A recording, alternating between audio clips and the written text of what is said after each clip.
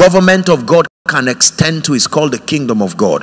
But the kingdom of heaven is that portion of the kingdom of God where in experience the life and the culture of heaven has been allowed to find expression. Transformation is the name given to the system that makes you become like Christ in experience. Not just his person, but is the process that helps you to capture every dimension of Christ to be represented in your person and in your life. The Son brings glory to the Father and the church in partnership with the Holy Spirit bring glory to the Son then the dominion of the church over principalities and powers. This is the where power of the Holy Spirit is God's ability at work in a man. The fortitude to produce God's dimension of results. If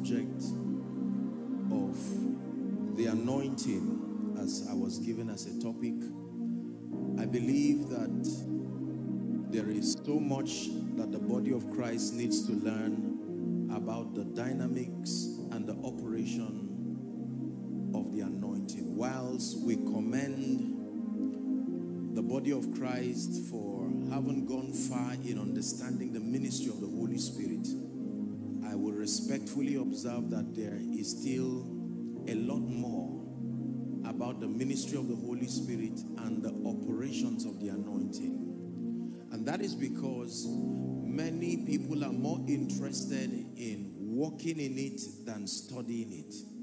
And so many people have experiences captured within their Christian life that they cannot explain, they cannot give meaning. They just know that people fall down in my meetings, people shout. I feel fire in my hands, I feel cold. I just know it is from the Holy Spirit. And yet, because we do not give attention to study these things, there is hardly mastery as far as the operation of the anointing is concerned in our lives. Please, when the power of God comes upon that lady outside, to bring her in. I want to speak and I want to prophesy. In the name of Jesus Christ. I'm seeing light just casting on this side. And it's, please hold on. We're going to pray. And it's an impartation it's a grace for the prophetic just on this row. Please bring them out. I'm seeing a grace for the prophetic. God wants to shift people into very strange dimensions in the spirit. Please bring them out. You will never be the same. Shalas kobranda For some of you, what you saw in your dreams are about happening. You've seen them in dreams and visions.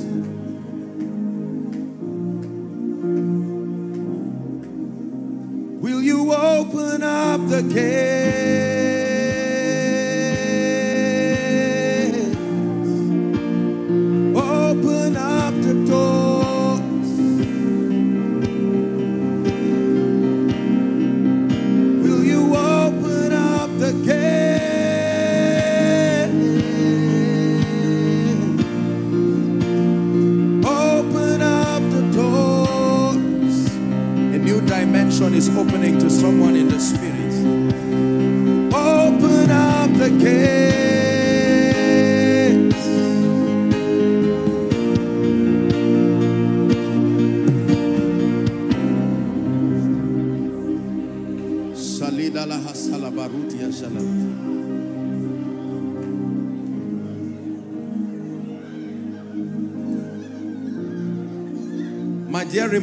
the former things, nor consider the things of old. The Spirit of God is saying, Behold, I do a new thing. Please be careful with her, don't drag her. In the name of Jesus, I declare for you and for your loved ones, the old is rolled away like the curtain. In the name of Jesus Christ. And I cast away every spirit that impedes your growth and your advancement in this kingdom I declare you are delivered now. In the name of Jesus Christ. Bring the people laughing in the spirit. It's not just some religious gibberish. It is an operation of the spirit that I'm hoping at the end of this conference we will understand. It's a laughter in the spirit. Please bring them. The power of God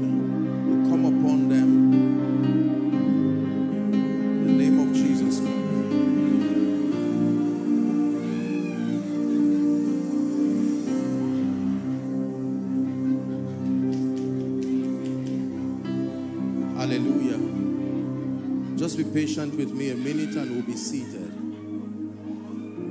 The Bible says the shouts of joy and victory shall not depart from the tent of the righteous. Let me prophesy to someone here. In the name of Jesus, I come tonight by the rod of a higher priesthood that every challenge that has stood before you, in the name of the Lord God whose I am, it will fall like Dagon before the ark It will fall like Dagon before the ark tonight. Hallelujah. Ebenezer. Who is Ebenezer? Ebenezer. You're wearing a blue and a cream shirt. Blue and cream. No. Blue and cream is like a short shirt. There is a blue patch and cream. Who is that? What is your name? Ebenezer. You're a member of this church? I want to pray for you. My friend, you love Jesus? the spirit of prayer and supplication is coming upon you. I stretch my hands, may that grace come upon you. Let it take you to untold dimensions in the spirit. In the name of Jesus, you receive of that grace, you will never be the same. My friend, I want to pray for you. In the name of the Lord Jesus, the Lord revealed me to you and I'm speaking to you for you and for your family. January is a season of strange breakthrough for your family. I release that grace upon you right now in the name of Jesus Christ. And that everything that stands between you and prophecy, I clear it out of the way. In the name of Jesus Christ. In the name of Jesus Christ. The healing anointing. I don't know you, this gentleman. You're a man of God. Lift your hands. In the name of Jesus, the Lord is telling me that He's introducing you to a dimension of the ministry of the Holy Spirit. And you will experience the healing power of Jesus in a strange way. Father, in the name of Jesus, a new grace, fresh dimension in the Spirit let this unction rest upon you and turn you into a sign and a wonder. Please be seated. God bless you. Psalm 92 and verse 10. Let's see how the Lord will help us. But my horn shall thou exalt like the horn of a unicorn, and I shall be anointed with fresh oil. Grant us illumination by the Spirit. In the name of Jesus. Conferences like these are opportunities by the grace of God to expose the body of Christ to dimensions of the kingdom. The kingdom is built and is made up of systems and God mandates that we study these operations one by one so that we can gain mastery and that our Christian lives will become fruitful and productive. It is for this cause that he gave unto some apostles and prophets and evangelists and teachers for the maturing of the saints. Hallelujah. Praise the name of the Lord. Second Timothy chapter 1 verse 9 tells us that we are all called. Every believer in Christ is called. Please give it to us. The Bible says, who hath saved us and called us with an holy calling. So every believer in Christ is called. For as long as you have been grafted into Christ through the experience of the new birth, the Bible says that you are called. You are called. It's an initiation into a life of victory, a life of purpose, a life that represents the Christ himself. Second Peter 1 and verse 10 tells us that we are not only called but we are chosen. And then it says that it is within our responsibility to give diligence. Look up, please. To make your calling and make your election. The word election is still the word chosen. Are we together now? That it is within your power and it is your responsibility to make both your calling, the validity that you are called, and the validity that you are chosen. That you, please keep that scripture there, to make your calling and your election sure. So, on one side, it tells us that we have been called, and it says it's a holy calling, but that not everyone, even though called, will walk in the fullness of the purposes of God. Are we together now? So we establish the fact that we are called in Christ. But here scripture is saying, give diligence. Brethren, he's speaking to people who are in Christ. Give diligence to make your calling and your election sure. That means if you do not give diligence to certain things, it will cause men to justifiably doubt whether you are called. Are we together? This is true for a man of God. This is true for a businessman that you can live your Christian life in a way and a manner that justifies being questioned. That people say, Where is your God? These propositions that you give about God, are they real? The Bible says it is your responsibility to be a validator, to make sure no one doubts you in your lifetime that the hand of God is upon your life, that no one doubts you in your lifetime, that it is true the Holy Spirit is at work in you, that no one doubts you in your lifetime, that the word of God is alive and strong in you. He calls it giving diligence to make your calling and your election sure. You can be called as a preacher and ignoring these things, the matters that make for validation of your ministry, people will look at you and say, is it true that you are called? No power, no grace, no revelation, no results, no nothing. Christ is hardly glorified in and through your life. If it is true that we are called, if it is true that you are born again, if it is true that the Holy Spirit lives in you, if it is true that the word of God is alive, quick, powerful in your spirit, if it is true that you have been planted in the house of God, then the results that follow these things should happen in your life. And the Bible says if it does not happen, it is your fault. It says there is something you must do as a responsibility. In fact, Jesus himself was teaching in what we call the Beatitudes, one of his mentorship sessions. And he said, let your light so shine. Permit your light, the results, the fruit of your dealings in the spirit, that let it so shine before men, that they, the men, might see your good works to the end that they will glorify your Father in heaven. That means there is a dimension of glory God cannot receive from the life of a believer who does not command certain notable dimensions of results. It is more than just showing that you are anointed. It is more than just showing that you are of God. There has to be a testament of the life, the power, the grace of God upon you. This has nothing to do with ministry. You are making your calling and your election show. Are we together? That means you should not blame members when they say, Where is your God? When the sick come back and go back sick. When the oppressed come back and go back oppressed. When the broken come back and go broken. That they have a right, according to this scripture, to doubt your call. Are you getting what I'm saying now? That it is, they have a right to say, if you say where two or three are gathered in my name, I am there. Where is he? We are more than three here. Listen, I'm challenging you tonight to come into a Christian experience that is provable the times that we live in now will no longer allow noise and stories of a God who was and a historic God. We need to be able to demonstrate the reality of this life that we so propose. We've said so many things about God in conferences, in conventions. There are so many advocacies about who he is and what he can do. And then the world is standing in their arrogance and waiting and saying until you can demonstrate the validity of all you are talking we consider you noisemakers, philosophers, they say. Hallelujah.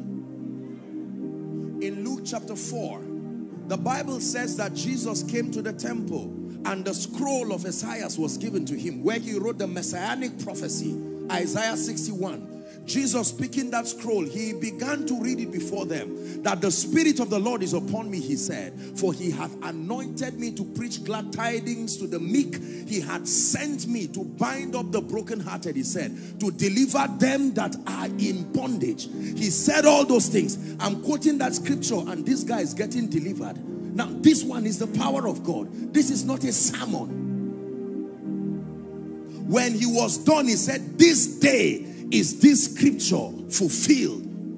And he saw a woman with a withered hand and said, if it is true that I am the Messiah that is talked about, let that reality be here and now. Madam, stretch forth your hand. The Bible says that the Greeks seek for a sign. Have you read that scripture? That we live in a time where men and women will not just believe for nothing there has to be a dimension of the reality of God. There is too much speaking, too much speaking, not teaching, too much speaking propositions of what God can do. God can do. We whet the appetite of people like the fig tree and we cause them to come. And they come there with nothing. God is able to change your life, we say. I'm not being sarcastic. God is able to lift you. And many times we are well meaning. We don't mean to deceive them. We are sincere. But we go back and say, God, but why? What is this? What is this? I gave my best. I called for a healing meeting. I called the sick to come. They waited from morning till night and they went back. I called sinners to come. I told them there is a savior that can save. And while I was teaching what I believe the Bible says is the power of God unto salvation, that while that teaching is going on, the sinners were watching like this, unconverted, untouched by the message. Are you blessed? We propose that as believers and as men of God, He has put something in our lips that when we utter words upon the lives of people, we can create a system of blessing upon them. But how many times do we continue to speak? The Lord bless you, the Lord lift you, may your life change. They say amen, meaning they believe, but they don't return with results. Can I tell you this? There has to be a dimension of the grace of God that must be displayed in the land of Asaba to bring principalities and powers. Hear what I tell you. There has to be a dimension of the reality of the spirit. That you will see people on the streets, conversions, a, a, a, an effulgence of power that on Sunday the streets and the shops are closed because men and women will have to go to God. There is, there is a dimension of the power of the Spirit of God. He said, when I came to you, I did not come with the excellency of speech because the morale is not to show you I'm a great orator, but to demonstrate to you that there is a kingdom that is provable here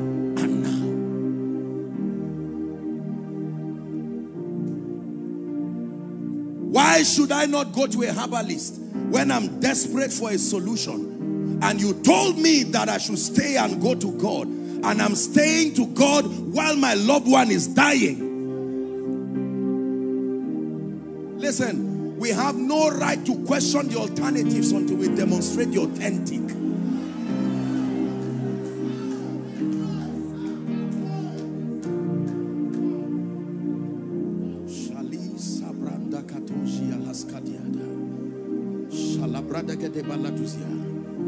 Right now, it looks like a mockery when you say you are in ministry. When you say you are a man of God, this is what society interprets.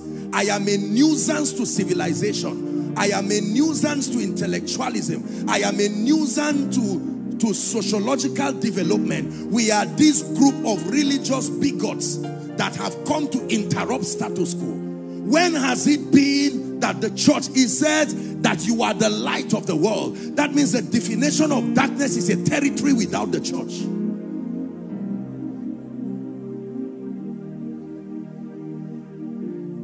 When a man of God comes to a house and knocks and says, peace be unto you, the people in the house are already offended because in their mind they feel this, these money grabbers have come with their false and negative prophecies to mislead us and collect money. Oh, come on, please. That there is a dimension of grace that as you are knocking at the door of someone without knowing what the problem is, the spiritual climate that you carry is announcing something to the realm of the spirit that the age-long captivity that that family is under should go. Can I tell you this? The lifetime of transformation, when you see Jesus, you need only one encounter.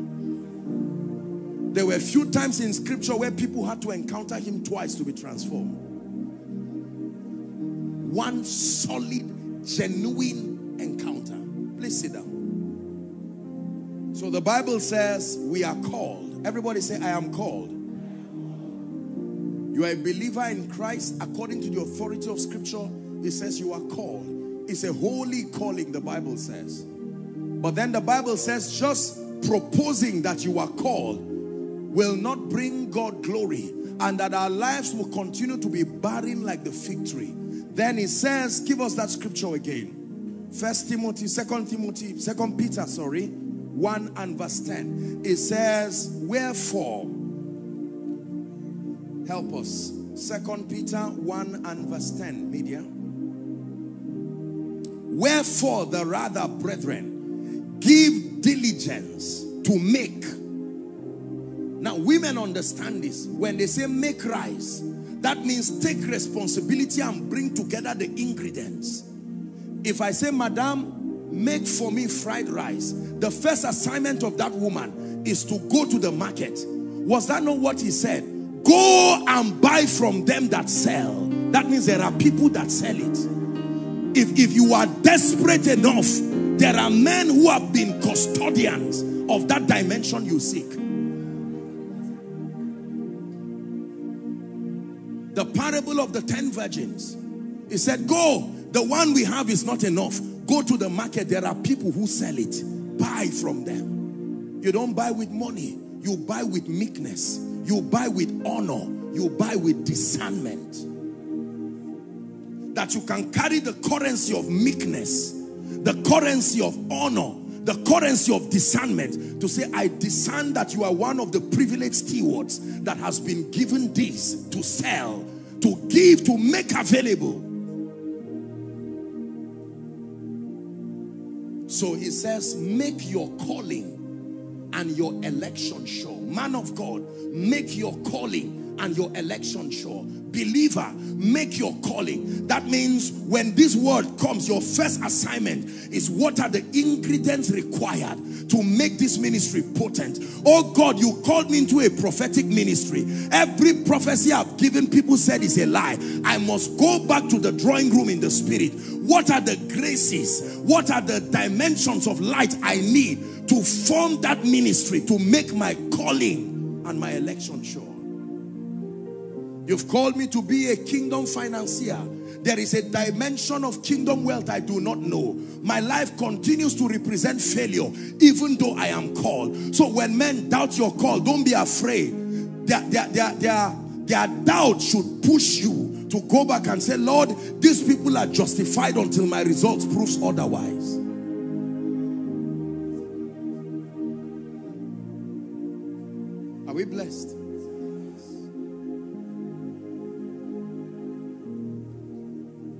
Lord, you have called me to demonstrate the reality of the Spirit to a territory. And yet darkness continues to loom across that territory even with my presence.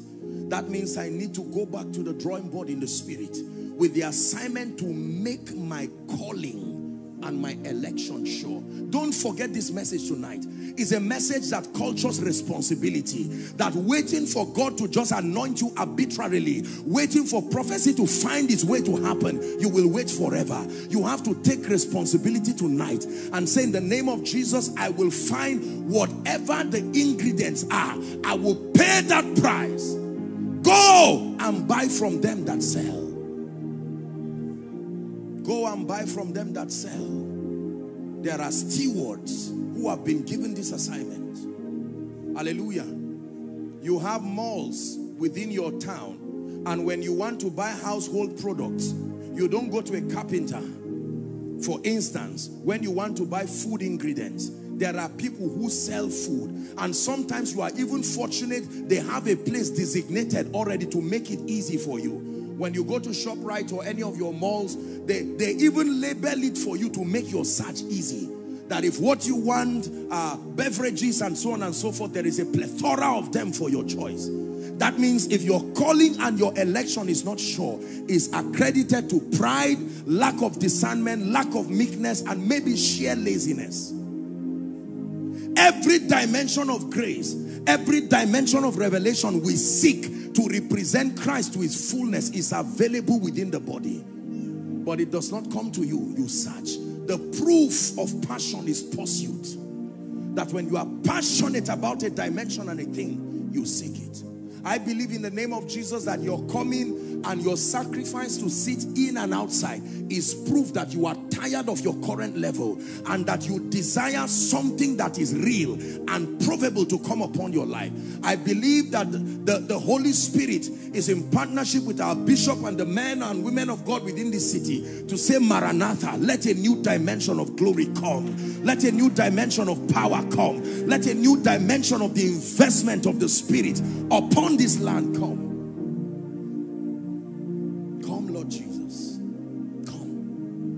Revival, come. Come, signs and wonders, come. Come, salvation, come. Come, baptisms, come. Come, revelation and spiritual intelligence. There has to be a people. It is the spirit and the bride that says come. It is not only the spirit alone. The spirit can say come and the bride in Asaba is refusing to echo that same word. When the spirit says come, the bride must also say come the spirit and the bride say come. Are we blessed? So this conference is an attempt to bring to our lives one of the major ingredients that can help a believer make his calling and his election sure now, does it, does it make sense to you what I'm teaching? Because just teaching about the anointing arbitrarily is what has produced the immaturity that we see in the body of Christ today. Because people have access to dimensions of grace without purpose. They do not even know to what end it is. So there, there is a, a display and a galore of flesh. But when we connect these teachings to kingdom come, and to a bigger spiritual cause, then you now see that your desiring the anointing has now come under alignment to a greater cause to see Christ revealed, to see Christ glorified, more than just making a name. That Lord, I love you so much. I want to see your life and your glory lifted and, and, and revealed within my territory according to galatians 1.24 that man will glorify god in me and because of that agenda, to prove to creation that you are God, to be a witness indeed, a validator of your power, your grace, is for that reason that I seek the anointing. It is for that reason that I fast. It is for that reason that I pray because I love you and I want to see creation give you glory. That it will not be in my lifetime that people will say, Where is this God?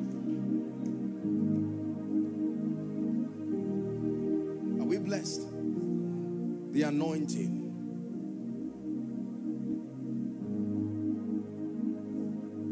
When Jesus began to mentor the disciples, isn't it amazing, men of God, that when you read the Gospels, you will hardly, aside from the recitation of the messianic prophecy, you don't hear the mention of the anointing there. You don't even hear the mention of spiritual power. There are few times Jesus talked about that because the major ingredient was to supply spiritual knowledge. He knew that introducing them to the anointing would destroy them. And so he kept them to mentor them. Because the anointing reflects your level of spiritual illumination. When you get the anointing and your mind is not transformed, the, the way you will operate will make it look as though it's the anointing making you behave that way and yet it is lack of transformation. So the more transformed you are, the more you are giving the anointing space to find expression. Are we blessed? The anointing. What is the anointing? Let's define it and then we'll just share a few things. Thank you, Jesus.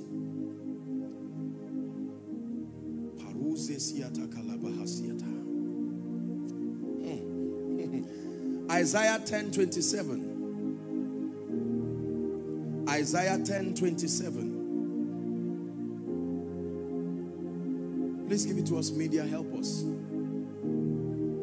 And it shall come to pass in that day. Someone said, This is that day. That his burden shall be taken from off your shoulder, Read with me, please. And his yoke from off thy neck. Uh-huh. And the yoke shall be destroyed because that when you introduce something to that yoke, the yoke will be destroyed. The yoke does not get destroyed on its own, but there is a spiritual factor that when you introduce to that yoke, the Bible says the yoke is destroyed and the reason is because of the anointing. Please write this down. The anointing is a system of ordination and authorization.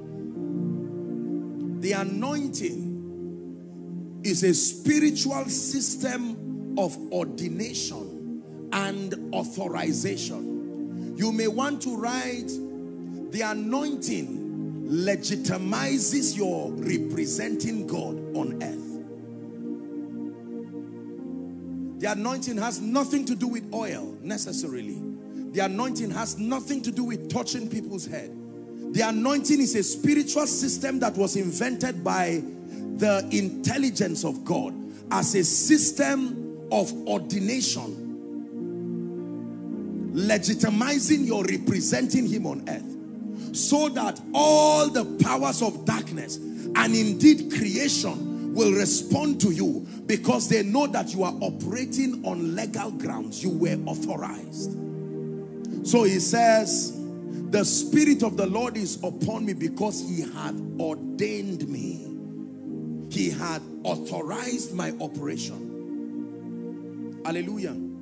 You have, I, I saw a few security people outside. When a military man wears his uniform, that uniform is a system of authorization. Is that true? It legitimizes him. You don't find a military man in his uniform holding a rifle and then you question him because the uniform permits that he holds a rifle.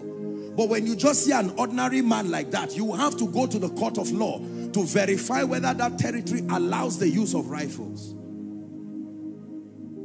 So when you walk to creation and say, sick, be healed, blind eyes open, destinies be transformed, believers, I supply you light. The realm of the spirit will ask you back, where is your authorization?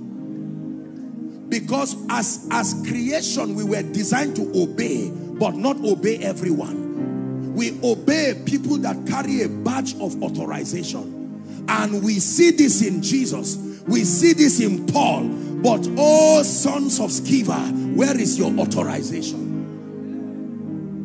So it's not just enough to speak. It's not just enough to do ministry. The anointing, therefore, is God's way of legitimizing your operations on earth. God's way of legitimizing your representing Him. Are we together? Yes.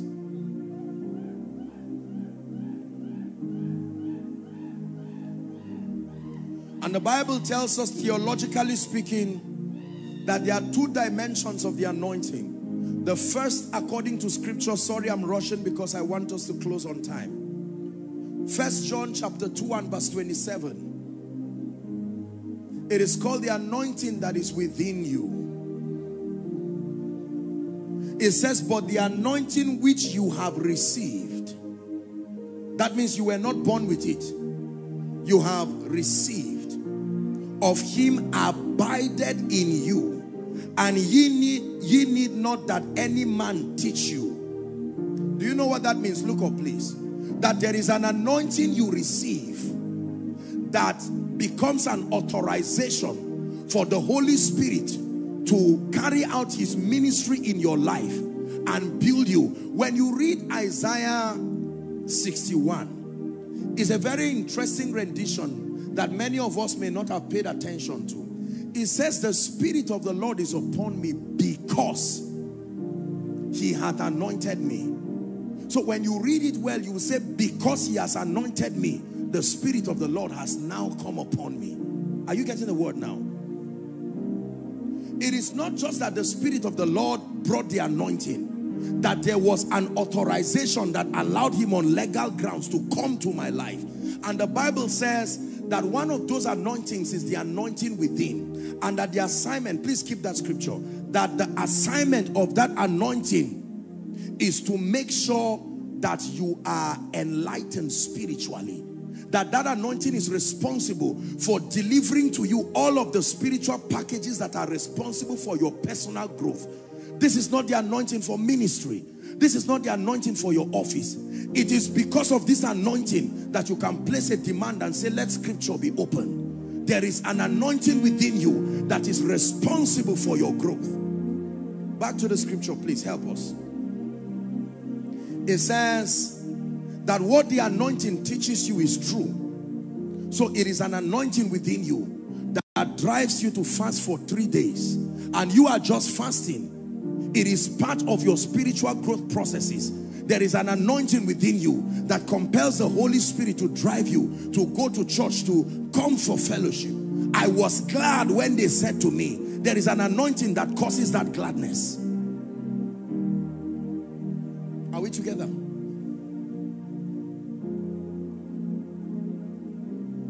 But the second dimension of the anointing, the investment of God's power, that it comes upon you and it is primarily to equip you for kingdom service.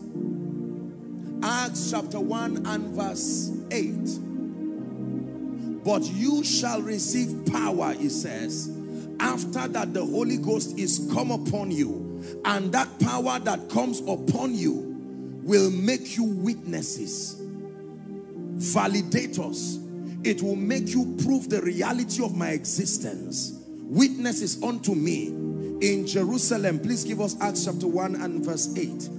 In Judea, in Samaria, it says, and unto the uttermost part of the earth.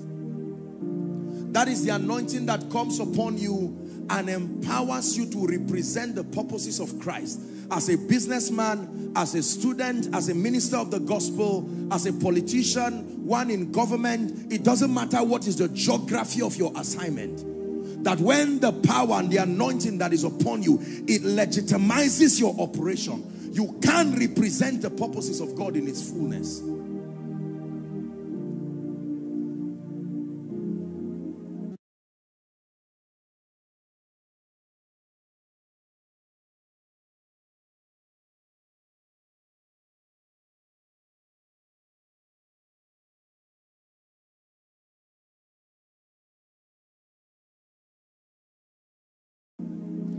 The anointing is responsible for results in the life of a believer.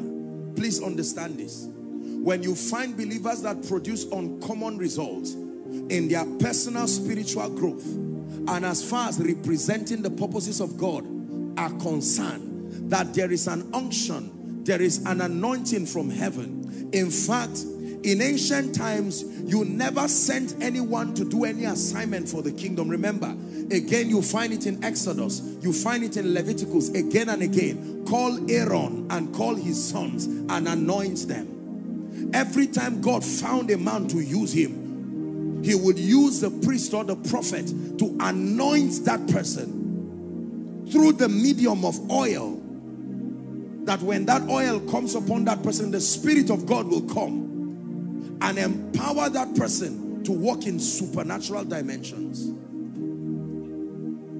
And in the name of Jesus Christ, the anointing for your destiny will locate you this night and rest upon your life and turn you into a sign and a wonder. Now please sit down. The anointing is responsible for efficiency in this kingdom. You cannot be efficient until the requisite level of the anointing is upon you. God has called you into a ministry you cannot be efficient until the requisite level of the anointing comes upon you. God has called you into business and finances. You cannot be efficient until the requisite level of grace is upon you. Look at me, please. When you see people do uncommon things, it is because there is a dimension of grace that is not given to men or not fabricated by men that is upon them. You may want to write this definition of the anointing therefore that the anointing is God's ability a second definition the anointing is God's ability at work in a human or material vessel God's ability at work in a human or material vessel causing that vessel to produce God's dimension of results. God's ability at work in a human or material vessel causing that vessel to produce God's dimension of results. Are we together? As a normal human being, you cannot speak to someone and say in the name of Jesus, go, return with a result. You don't have that power as a human, as a, as a natural man. It is not given to you. But there is an engracing from heaven that can come upon you. And when you speak, it's as though it is God speaking. And because he's the one who has empowered you, he will back what you have said and ensures that the people return with the results as spoken. Genesis 21 and verse 1. Please give it to us.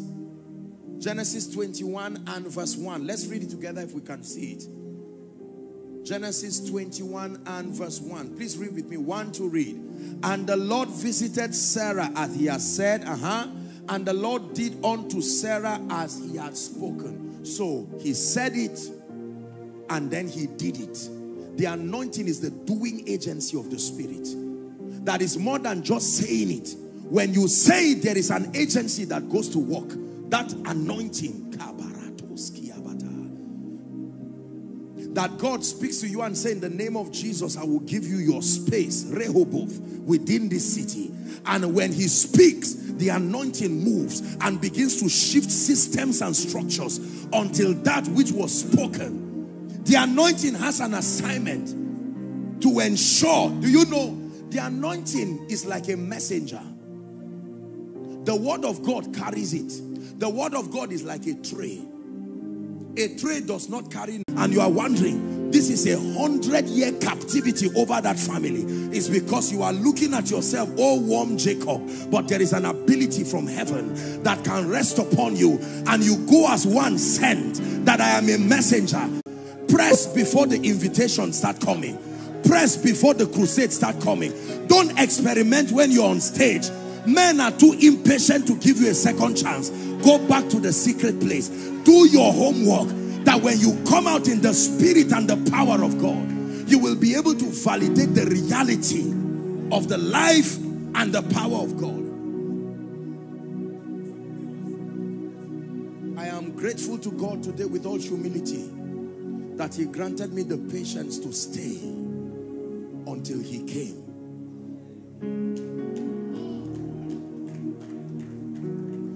Listen, please don't be offended. This anointing thing, bah, if it's there, it is there.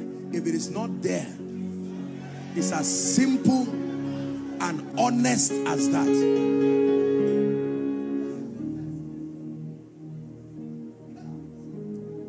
When you ask a woman who is a chef, Madam, please make fried rice.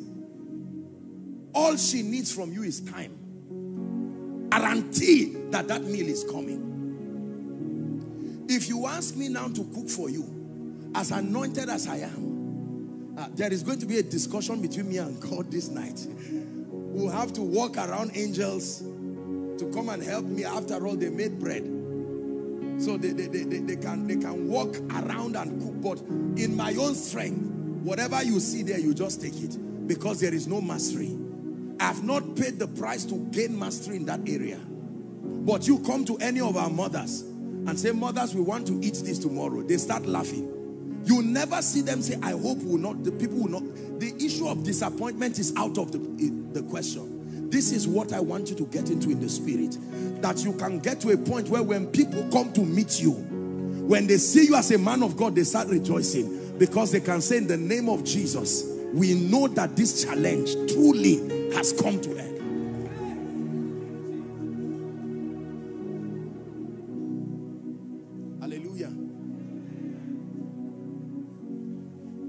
God once packaged a seed to sow into my life. And I told him for what? He said for increase. I said, if you don't rise, come back and collect your money. Because that would be a scam. That would be that I cheated you. If you actually carry your seed believing that I'm a representative of the kingdom and you sow it and you go back and nothing happens, I deceived you. Come back and collect your money with honor.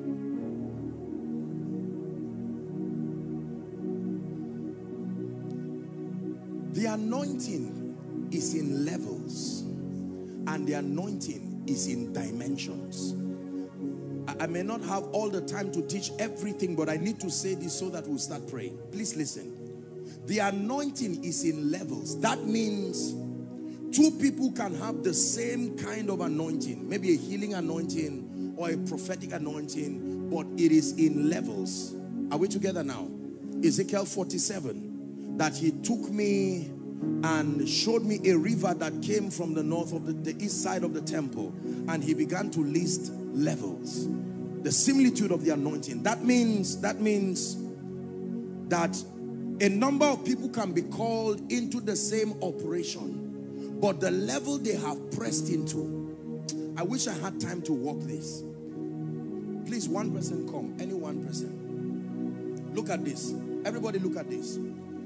If this brother has, God forbid, say a curse in his life, okay? And this guy is suffering from delay. And this guy is suffering from sickness. Are we together? And this guy is suffering from oppression. There is need for breakthrough. How many of you know that he needs the power of God in his life? Is that true? Now, if I come as a man of God, pastors learn this. This is a, a big revelation. If I meet this person, I will tell him in the name of Jesus, be free from that oppression. Now watch this. Every dimension of problem in his life has a level of anointing that takes it away. So while you are praying generically, are we together now? The anointing that is upon you through the problems in his life and only solves the one that is within his level. For instance, please, you have to understand this. Let's assume I want to use monetary value so that we can understand. Let's assume that this man has 1,000 naira worth of the anointing. I hope you understand what I'm saying. Just for. And he has a problem of delay. And that problem of delay will require a 50,000 naira worth of the anointing. And as a man of God, I come with 3,000 naira worth of anointing. Now I am anointed while I pray for him, the only problems that will be solved in his life are the problems that are below my level of anointing. This is the mystery behind certain conditions that seem not to change. Every challenge is at the mercy of the level of grace that confronts it.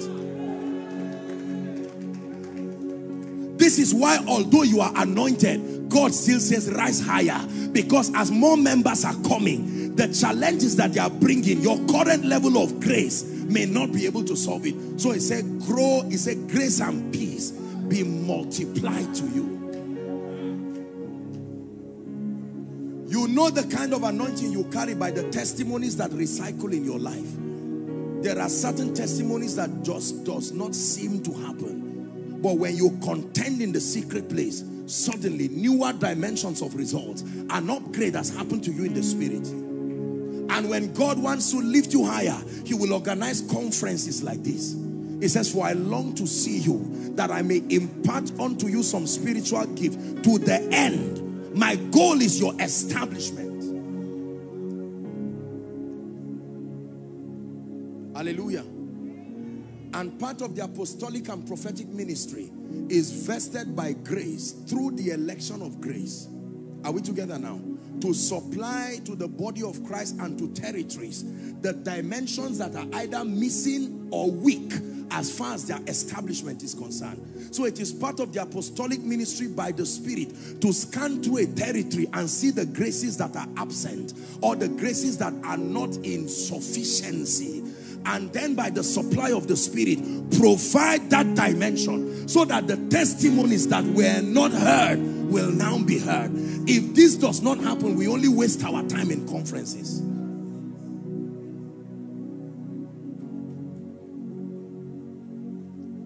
Are we blessed? So after conferences like this we hear that fire is burning in church A and demons move to church B for refuge. Before they get there, fire is also burning there. It's like beacons of fire.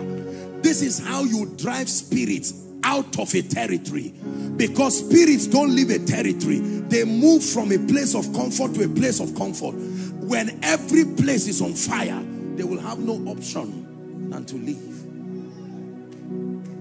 so you will find out that certain widespread vices suddenly begin to leave.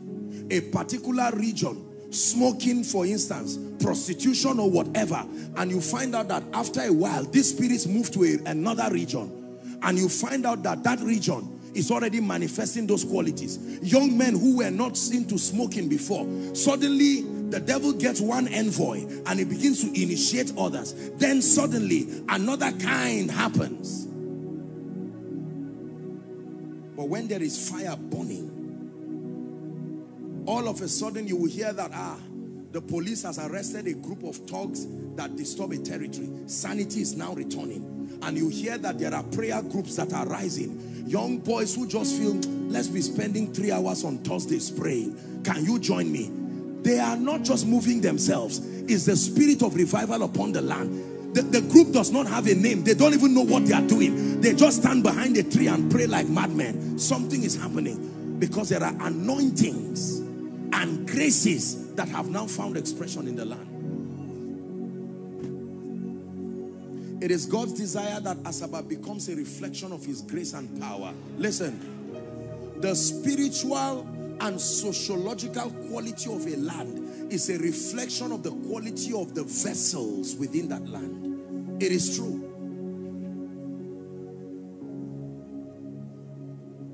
There is an anointing. I remember years ago, and, and I say this respectfully, I used to pray for certain conditions in people and it would not change. I, I really felt bad as a man of God, not because of my ego. I remember it was terrible. I would pray for people maybe with HIV, cancer, or something like this, and even me, I know nothing happened to them. You know, sometimes you have to be very honest. It's, it's, not that you are prophesying negative on yourself. There were issues that when I saw, I knew this, this was a done deal. Go. I saw innocent mothers come and say, Apostle, please, our family has this challenge. And, and I was empathetic and I prayed in the name of Jesus, may your problem. And they believed. They were crying. They even sowed seeds in my life. But the truth is that I saw them many months and maybe years and nothing had changed in their life. I had to go back to say, Lord, I know that I'm sincere, but sincerity is not the only seed for transformation. You need genuine power. And then the Lord began to teach me that the anointing is in levels. So when you stay with him and grow in that level, no wonder Acts chapter 10 and verse 38 says, how God, not that he anointed Jesus, look at the extent. So that every problem he confronted was below the level of his grace. Look, let me tell you, you want to see how cheap Satan is? Find a high level of the anointing and you will watch it rubbish darkness in your presence. Believe me. I had the privilege to have met a few revivalists in this nation and then around the world. And I remember one time I traveled, he's now late of blessed memory, Prophet Kobus van Rensburg. I remember going to his church in Stilfontein in South Africa. And I saw something that surprised me there. I saw that within the span of six to seven years, he had raised 10,000 wheelchairs and crutches single-handedly, more than the Welsh Revival combined. One man. He would not solve your financial problems. He would not solve other major problems. But when it had to do with the miraculous, I saw dimensions of grace. I read about Charles and Francis Hunter, both of blessed memory. In one single service, they raised 100 wheelchairs. Not stage managed. 100 real people seated. I watched Reinhard Bonnke crusade. I saw the supernatural power of God. It was not fake. I saw people who I know how they came. And he began to challenge me. I said, Lord, I don't want to be that kind of preacher that will continue to talk without demonstrating the reality of this. And I made up my mind that if the problems and the challenges of people were real, then we must contend for a real level of grace. And can I tell you, up till today, I have remained a student of growth in the spirit. I continue to challenge myself in the spirit to rise to higher dimensions of the anointing because principalities and powers must totally come. We, we need to get to levels like Elijah and, and like Joshua where you can speak to territories and they will answer, not just bodies. Son, stand still. Elijah looked at a territory and said, there shall be no rain except at my word. I hope you know there were other people who believed in the God of the Bible. And I'm sure somehow they prayed too and said, God, forget about this arrogant prophet. Just send rain. But God said, someone with a level of grace at a territorial level has done business in the spirit and locked up the heavens.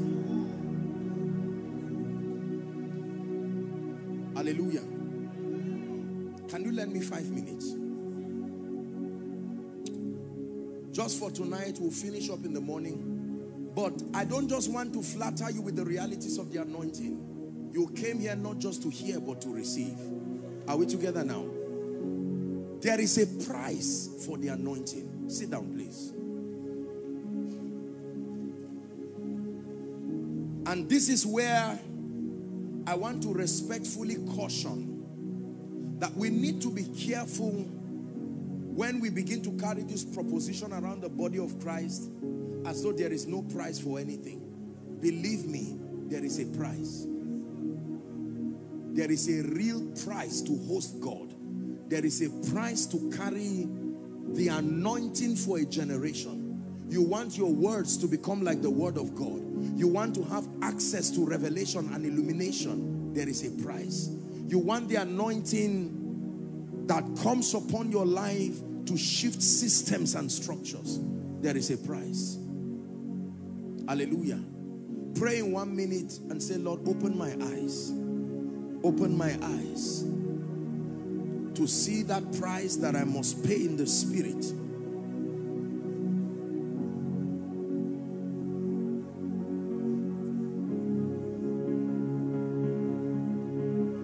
For thine is the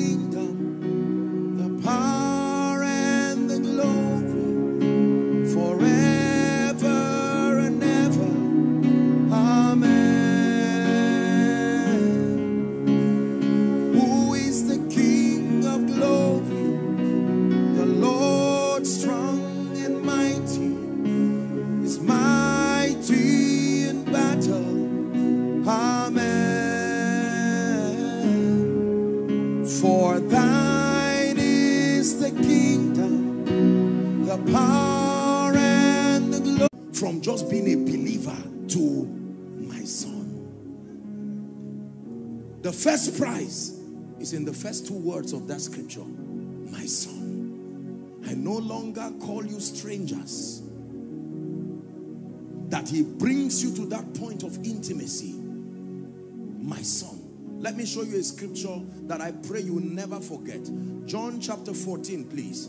From verse 21 and then 23. But let's look at 21. This is a vow and a promise that Jesus gave. It's a scripture I found many years ago and it changed my life. 14, 21, John. Please give it to us.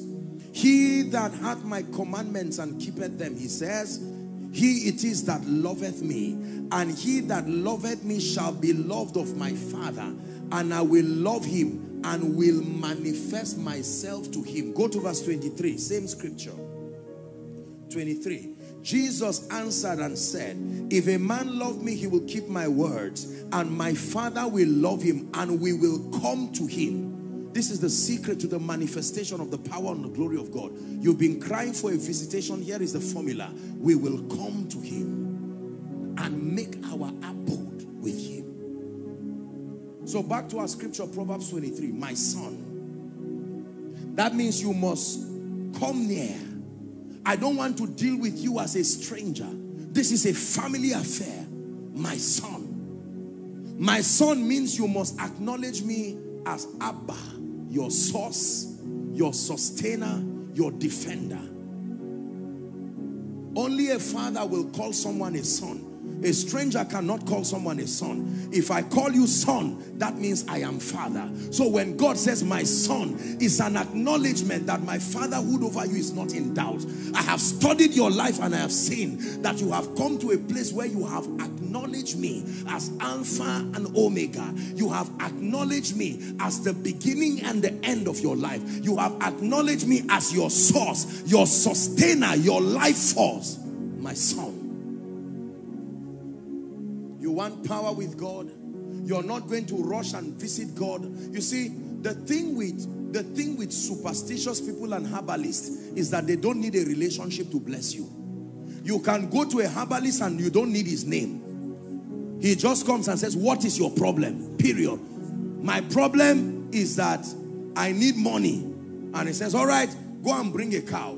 Go and bring uh, whatever, maybe chicken. Go and bring this. You don't need to know his name. He doesn't need to know your name. If he calls your name, it's not because he loves you. He's giving you word of knowledge to make sure you trust him. Are we together? But when you come to God, the anointing is a derivative of intimacy. He does not just say, oh, take power and go. Uh-uh. My son, I want a relationship first. Not ministry not power. This is where many people fail because when we come to God, we are not interested in a relationship.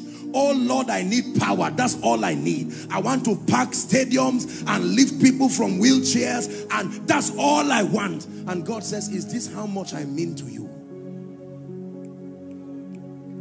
My son, I want to bring you to a place of intimacy. Abba, source. If this gentleman is my son and I find him eating my food, even if he has done something wrong, the fact that he's my son, there, there is already, I'm vulnerable to him already. Are we together now? I can just, okay, next time don't do that, but you concentrate. And he can even tease me and say, you are the only father that I have. If you like, kill me. And what is supposed to be a thing of tension is turned into a joke because of the privilege of that relationship. There are people who walk with God. Let me tell you this. I don't know if this is good to share or not. Here right now.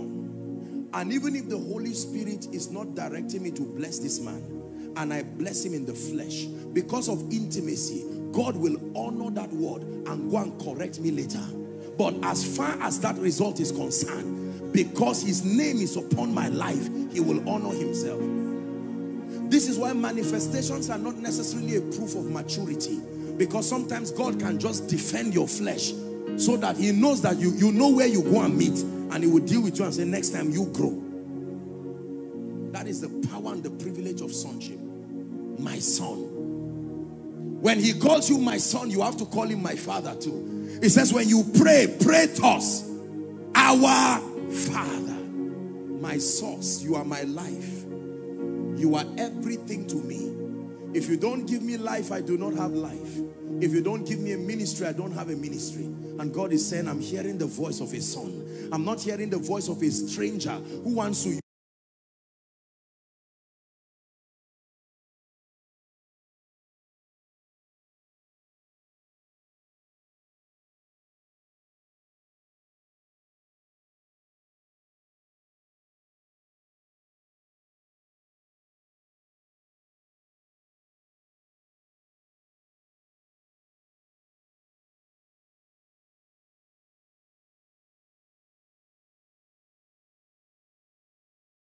me like a ladder to climb into the life of fame and use me to do ministry. I'm seeing someone who is interested in fellowship. Let me tell you, when your fellowship dimension dies, I assure you forget about genuine power. Are we together? Back to the scripture, please. We have to round up. My son, the next instruction, give me. Wow. That means Wanting the anointing will cost you. You will not only receive, you will give. You will have to give Give up give in. My son, if you are truly my son, prove that you are my son through your giving, not money. There is something I need from you. Give me. This is what many believers do not like. When you are walking with God, let me tell you, there will be a lot of give me's. Give me your Isaac. Give me your reputation, your ministry. Hand over your desires to me. Most times we think when you say, my son, receive. My son, come and take. The making of men of power in the spirit is my son. Next instruction, give me. Prove that you trust me. Abraham, take now thy son. Don't tell me you love him. I already know. Thy only son whom thou lovest. Go and offer him upon a mountain that I will show you. Can I tell you this? You will never see what in, is in God's hand until your heart, not your offering, not your singing. He didn't say, my son, give me your music. He didn't say, my he didn't say, my son, give me your morning devotion. He didn't even say, my son, give me your character. As wonderful as that is, I do not want those subsets. Give me everything that makes you you. I cannot trust you till I have your heart. Because whatever is in your heart is your God. Do you know what God is saying? Look at me. My son, give me my position. That's what is meant by that scripture. My son, whatever is in your heart, if it is me, you should not be afraid of giving. Give me my position. Ah. Holy Ghost, Holy Ghost, Holy Ghost. Only give us sing this song. Take your place.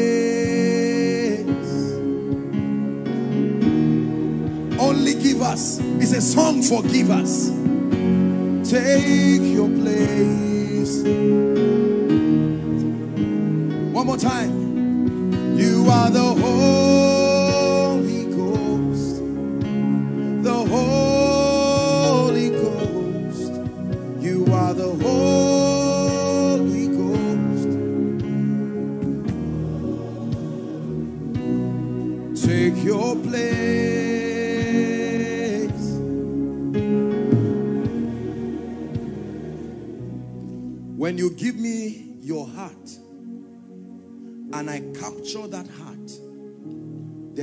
is nothing again that can steal my place in your life.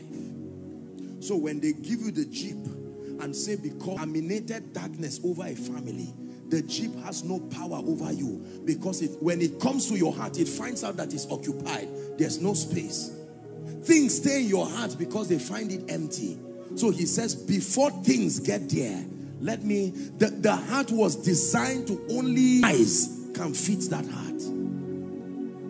When you give Apostle Joshua Selman, and while they clap for you, pride wants to enter your heart, but he comes and finds his majesty already seated. No room for you. Oh dear pride, no room for you. His majesty is seated there.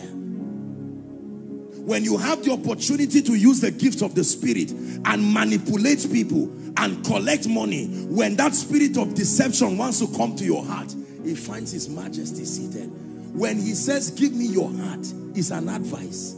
If you don't give me your heart and you allow something other than me enter your heart, it will tear you into pieces. Even if it's after 30 years in ministry, it will still destroy you. It's a risk to live when I am not the object of your desire. Is God speaking to someone here? This is why the first day they gave you the mic to lead the small fellowship. You didn't know pride was in your heart. As soon as you led that fellowship and you saw what God did, someone came to you for counseling in the evening and suddenly pride started coming. I'm not small, oh. That means there's something at work in me and God said, I warned you. I warned you that soon they will start inviting you. And before they invite you, do a handover ceremony. You refuse. Now look what is in your heart. Pride, lust, prayerlessness. All of them have found your heart. They are placed in your heart. Can I tell you this? You have to pray tonight. Before you get the anointing, you have to cry to his majesty and say, Lord, everything that has found its way in my heart that is not you, let it get out of my heart and give you space to come gloriously. This is the secret to authentic spiritual power. Not just impartation. No. My son, give me my place. Give me. Can you pray that prayer in one minute? Take everything, oh God, that is not you in my heart. If it's the anointing you came to receive, Oh yes, take away the pride. Take away the flesh. Take away everything that does not represent your counsel in my life. Give me your heart.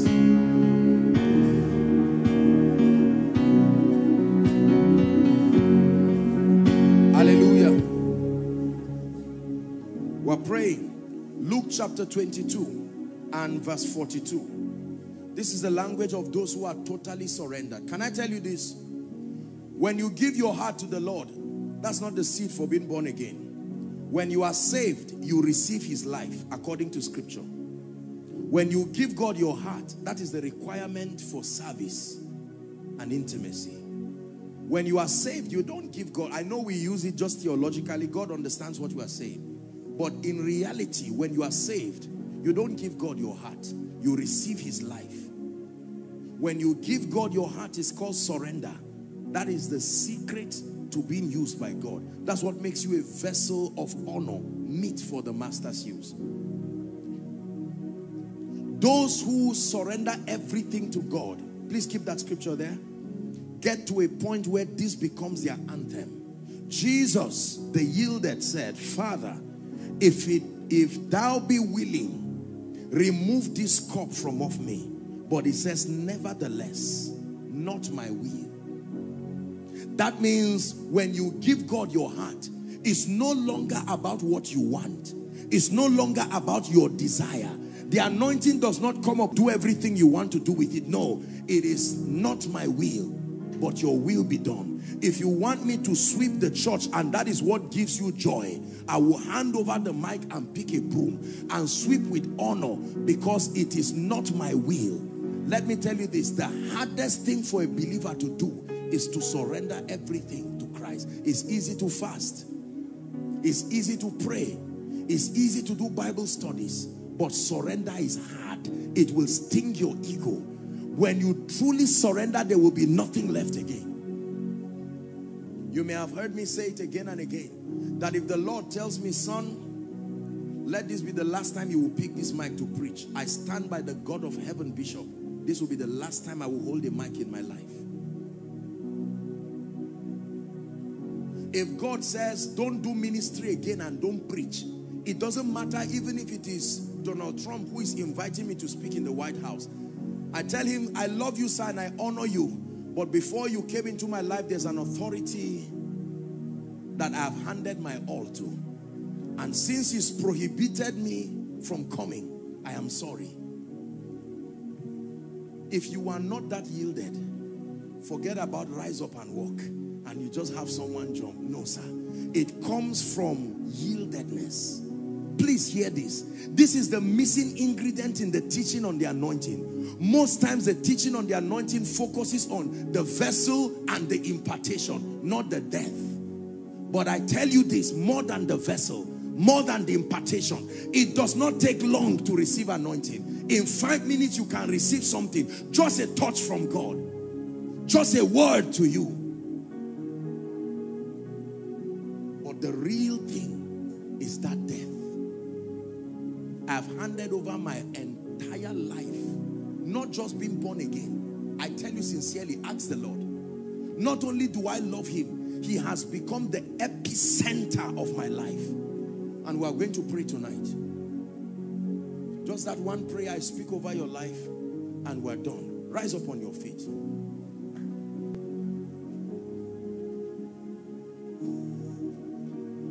Are you ready to pray? Lift your voice in one minute and ask the Lord to take away from your life everything that does not represent him. Lift your voice. My son, I desire fellowship, oh God. I'm tired of just doing church. I'm tired of just doing religion. I desire genuine intimacy. I desire the anointing upon my life. But the first key is my son. Bring me to a place of intimacy where you can call me my son, where you can call me my daughter. Bring me from afar. Draw me near. Someone is praying. Draw me near, oh God. Draw me near. Draw me near.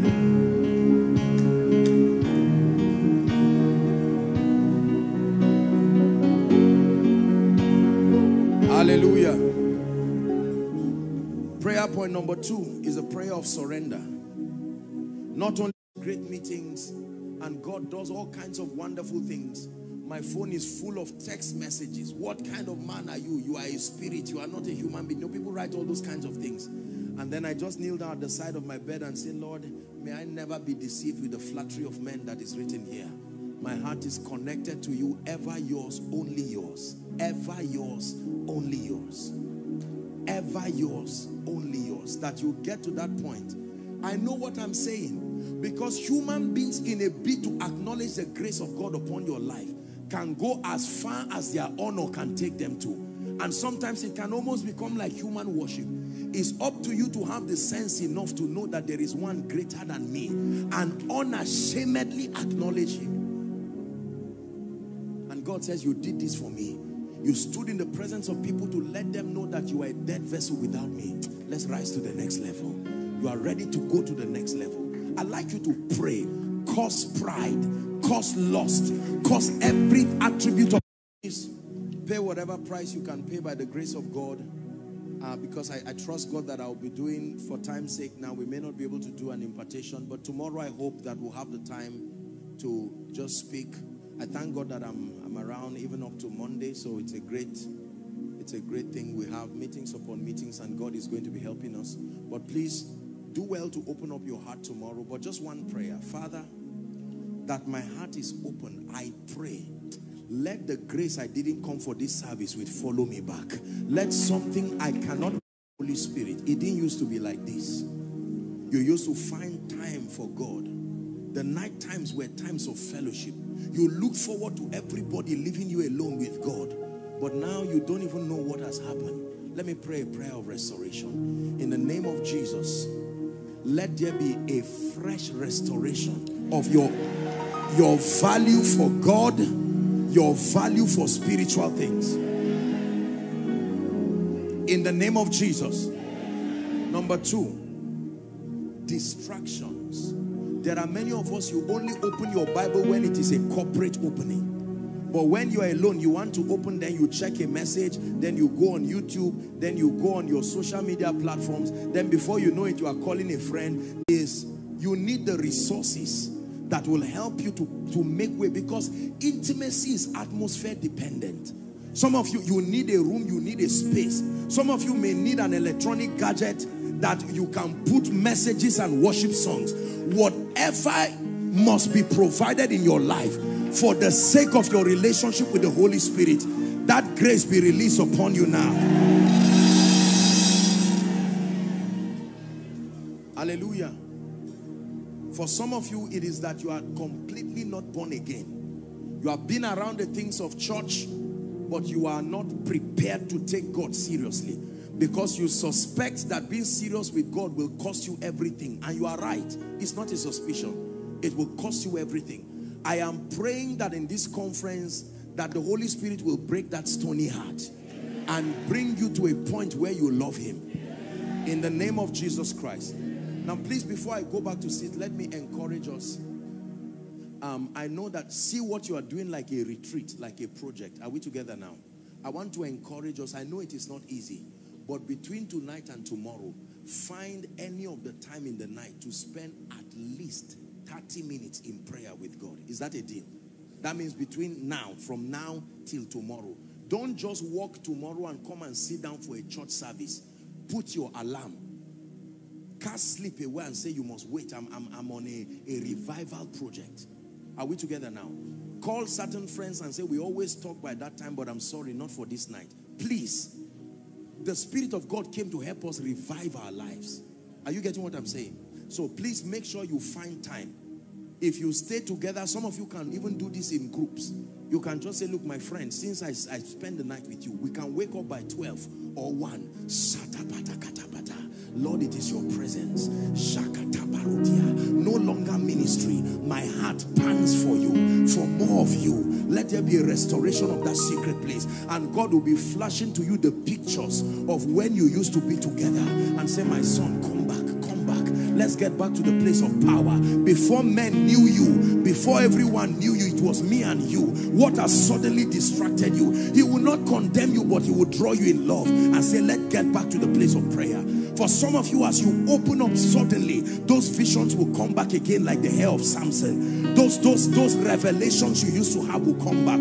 I pray for a restoration of everything you have lost spiritually.